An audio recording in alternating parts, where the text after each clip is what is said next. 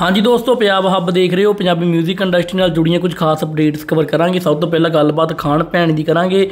ਖਾਨ ਭੈਣੀ ਦਾ ਗਾਣਾ ਰਿਲੀਜ਼ ਹੋਏਗਾ ਇਸ ਨਾਟ ਲਵ ਟਾਈਟਲ ਦੇ ਨਾਲ 22 ਫਰਵਰੀ ਨੂੰ। ਇਹਦੇ ਨਾਲ ਹੀ ਦੋਸਤੋ, ਕਰਨ ਔਜਲੇ ਵੱਲੋਂ ਕਿਸਾਨਾਂ ਦੀ ਸਪੋਰਟ ਕੀਤੀ ਗਈ ਹੈ। ਇੱਕ ਇੰਸਟਾਗ੍ਰam ਸਟੋਰੀ ਸ਼ੇਅਰ ਕੀਤੀ ਗਈ ਸੀ, ਜੋ ਕਿ ਤੁਸੀਂ ਆਪਣੀ ਸਕਰੀਨ ਦੇ ਉੱਤੇ ਦੇਖ ਸਕਦੇ ਹੋ। ਨਾਲ ਹੀ ਕਰਨ ਔਜਲੇ ਤੇ ਡਿਵਾਈਨ ਦੀ ਐਲਬਮ ਰਿਲੀਜ਼ ਹੋ ਚੁੱਕੀ ਹੈ। ਸਟਰੀਟ ਡ੍ਰੀਮਸ ਟਾਈਟਲ ਦੇ ਨਾਲ ਐਲਬਮ ਦੇ ਵਿੱਚ 7 ਗਾਣੇ ਰਿਲੀਜ਼ ਕੀਤੇ ਗਏ। ਇੱਕ ਗਾਣਾ ਆਲਰੇਡੀ ਰਿਲੀਜ਼ ਹੋਇਆ ਹੋਇਆ ਸੀ 100 ਮਿਲੀਅਨ ਟਾਈਟਲ ਦੇ ਨਾਲ।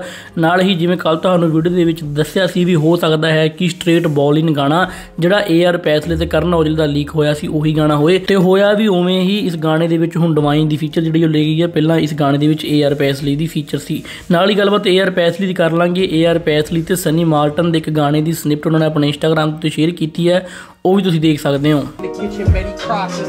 And my boy Preet right behind the camera. He from Cali, but we chilling out in Canada. ਇਸ ਨਾਲ ਹੀ ਦੋਸਤ, ਗੱਲਬਾਤ ਸਨੀ ਮਾਲਟਨ ਦੀ ਕਰਾਂਗੇ। ਸਨੀ ਮਾਲਟਨ ਨੇ ਬਾਈ ਸਿੱਧੂ ਮੂਸੇਵਾਲ ਨੂੰ ਯਾਦ ਕੀਤਾ, ਆਪਣੇ ਇੰਸਟਾਗ੍ਰam ਦੇ ਉੱਤੇ ਇੱਕ ਪੋਸਟ ਸ਼ੇਅਰ ਕੀਤੀ। ਤੁਸੀਂ ਆਪਣੀ ਸਕਰੀਨ ਦੇ ਉੱਤੇ ਦੇਖ ਸਕਦੇ ਹੋ। ਨਾਲ ਹੀ ਸਿੱਧੂ ਤੇ ਏਆਰ ਪੈਸਲੀ ਦਾ ਡ੍ਰਿਪੀ ਗਾਣਾ ਰਿਲੀਜ਼ ਕੀਤਾ ਗਿਆ ਸੀ। ਕਾਫੀ ਭਰਮਾ ਹੰਗਾਰਾ ਮਿਲਿਆ।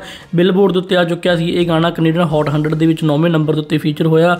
ਗਲੋਬਲ ਐਕਸਕਲੂਸਿਵ ਚਾਰਟ ਦੇ ਵਿੱਚ ਵੀ ਇਹ ਗਾਣਾ ਫੀਚਰ ਹੋਇਆ। ਇੰਡੀਆ ਸੌਂਗਸ ਬਿਲਬੋਰਡ ਦੇ ਉੱਤੇ ਵੀ ਇਹ ਗਾਣਾ ਫੀਚਰ ਹੋਇਆ। ਹੁਣ ਦੋਸਤੋ, ਇਸ ਗਾਣੇ ਦੇ ਉੱਤੇ 5 ਲੱਖ ਰੀਲਸ ਜਿਹੜੀਆਂ ਉਹ ਇੰਸਟਾਗ੍ਰam ਦੇ ਉੱਤੇ ਪੂਰੀਆਂ ਹੋ ਚੁੱਕੀਆਂ ਨੇ। ਗੱਲ ਵੇ ਤੇ ਮੇਰੀ ਲਾਈਫ ਤੇ ਖਾਤੀ ਧੱਕ ਲੈ ਪਿਆ ਬਾਕੀ ਹੋਰ 뮤직 ਇੰਡਸਟਰੀ ਦੇ ਅਪਡੇਟਸ ਲਈ ਚੈਨਲ ਨੂੰ ਜਰੂਰ ਸਬਸਕ੍ਰਾਈਬ ਕਰ ਲਿਓ। ਮਿਲਦੇ ਕਿਸੇ ਨਵੀਂ ਵੀਡੀਓ ਕਿਸੇ ਨਵੀਂ ਅਪਡੇਟ ਦੇ ਨਾਲ।